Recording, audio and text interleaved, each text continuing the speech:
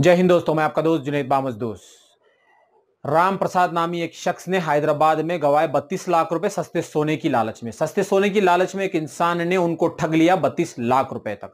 मामला है Shamshabad PS limits का, जहाँ पर सुधाकर नामी एक शख्स ने फिल्मी अंदाज में प्लान बनाकर ठग लिए 32 लाख रुपए। और सुधाकर नामी ये शख्स, ये चोर एक ऐसा चोर है, इसको धार्मिक चोर कहना भी गलत नहीं होगा, क्योंकि इस इंसान ने ये अपना काम शुरू करने से पहले ऊपर वाले से मन्नत मांगी थी कि अगर 30 लाख रुपए से ऊपर इसे कोई पैसे मिलेंगे तो ये वाराणसी जाकर वहाँ की मंदिर में ऊपर के पैसे दान कर देगा। जी हाँ कोई भी काम शुरू करने से पहले हिंदुस्तानी रिवाज के हिसाब से उसने एक मन्नत मांगी और अपना काम शुरू किया। शायद ऊपर वाले का उसके ऊपर थोड़ा सा कर्म हो गया उस वक्त, इसीलिए वो अपने प्लान में कामयाब तो हो गया, मगर गलत बात गलत ही होती है। पुलिस ने उसे धर दबोचा और हैदराबाद वापस ले गया।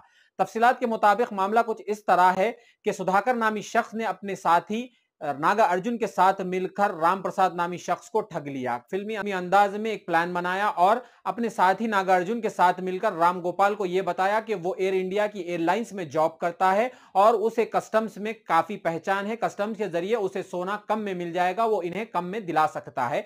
बत्तीस लाख रुपए में एक किलो सोना दिलाने की उसने डील बताई और अपने साथी नागा अर्जुन को बताया कि वो एयरपोर्ट में कस्टम्स में जॉब करता है। कुछ इस तरह से जाल बिछाया कि रामगोपाल इनके राम प्रसाद जिसका नाम है जो कि अक्यूज है जो इनके झांसे में फंस गया। इनके झांसे में वो फंस कर जैसे ही पैसे लेकर हैदराबाद पहुँचा, वो इन्हें से लेकर एयरपोर्ट चले गए। एयरपोर्ट जाकर उन्होंने उस इंसान को कहा कि, अब तुम यहाँ पर ठहर जाओ, तुम अंदर नहीं आ सकते, हम लोग अंदर जाएँगे, सोना लेकर बाहर आएँगे और तुम्हें सोना देंगे, अपने पैसे लेकर फरार हो जाएँगे।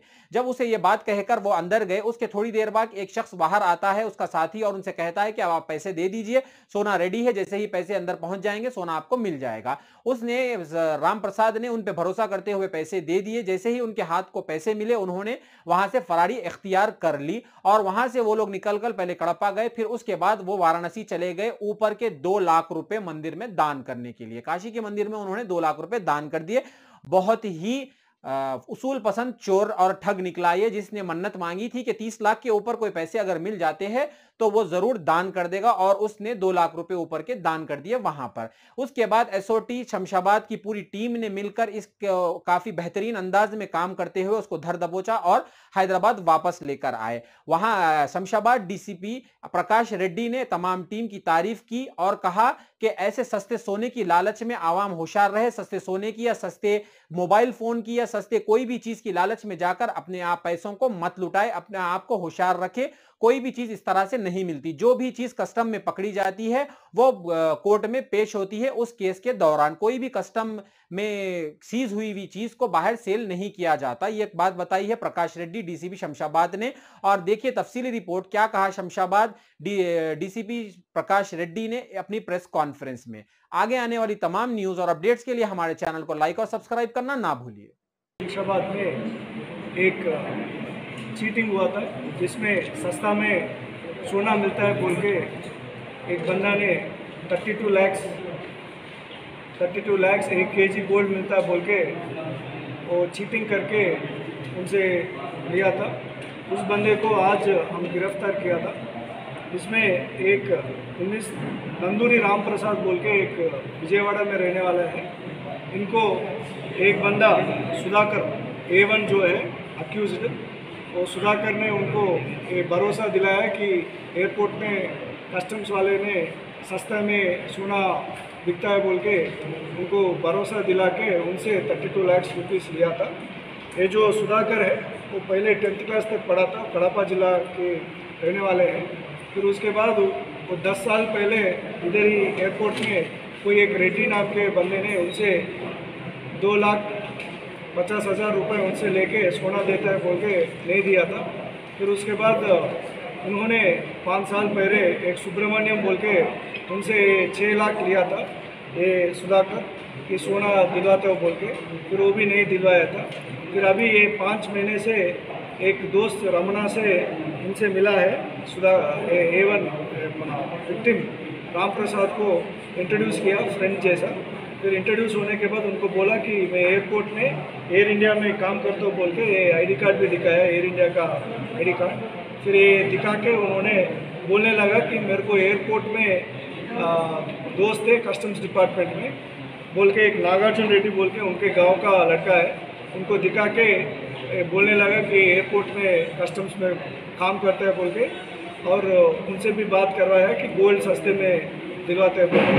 फिर उनको जब मालूम, उनको जब एक भरोसा आया तो फिर उनसे थर्टी टू लाख रुपीज़ उनसे मंगवाया। थर्टी टू लैक्स उनसे मंगवा के फिर उनको एयरपोर्ट आने को बोला।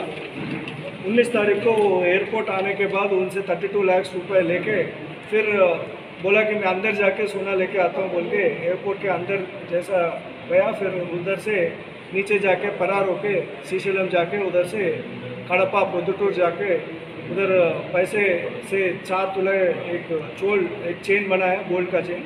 फिर उसके बाद जो बाकी पैसे हैं, उसमें से एक लाख रुपए ए टू नागार्जुन रेड्डी को दिया है।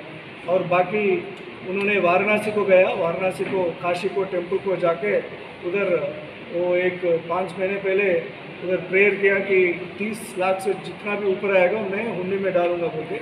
फिर इधर तीस लाख से दो हज़ार दो लाख ज़्यादा आया बोल के, दो लाख गुंडी में डाल के फिर वापस आया था। फिर आज इधर पकड़ में आया।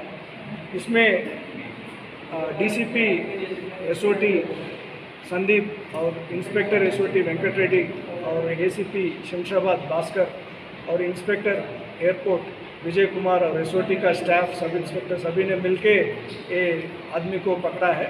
और हम सबको पब्लिक को रिक्वेस्ट करते हैं कि कोई भी ऐसे सस्ते में सोना मिल रहा है नहीं तो सेलफोन मिल रहा है नहीं तो लिकर का बॉटल मिल रहा है नहीं तो कुछ और चीज़ मिल रहे हैं तो पूरा आप भरोसा मत करना। जो भी आपके पास ऐसा इन्फॉर्मेशन है तो आप ज़रूर पुलिस को बताना, क्योंकि इसमें साफ़ साफ़ दिख रहे हैं कि जो 50 लाख एक केजी होता है, कम से कम, आज के रेट में। वो अगर 30 लाख में नहीं तो 32 लाख में दे रहे हैं तो वो बिल्कुल चेक करने का मामला है। और जो भी एक कस्टम्स डिपार्टमेंट सीज करते हैं वो बाहर वो नहीं बेचते हैं वो सीज करके कोर्ट में प्रोड्यूस करते हैं। तो कोई भी ऐसे आपको भरोसा दिला रहा है कि सस्ते में सोना मिलेगा नहीं तो सेलफोन मिलेगा वो भरोसा मत करना और पुलिस को इन्फॉर्मेशन देना। सर अभी कितने लोगों को अरेस्ट किया अभी? दो जनों को? आज दो लोगों को अरेस्ट किया है जो सुधाकर जिन्होंने एयर इंडिया का स्टाफ बोल के उनसे पैसे लिया है और दूसरे नागार्जुन रेड्डी जो कस्टम्स डिपार्टमेंट में ऑफिसर बोल के पैसे लिए इनका कोई केस में इन्वॉल्व है साहब? नहीं नहीं अभी तक तो केस में इन्वॉल्व नहीं था। पहले एक बार ऐसे छः लाख लिया था किसी से और वो केस नहीं हुआ। तो अभी वो भी केस करेंगे साहब? जो प्रीवियस का लोग जो लिए थे पैसे? नहीं हुआ था।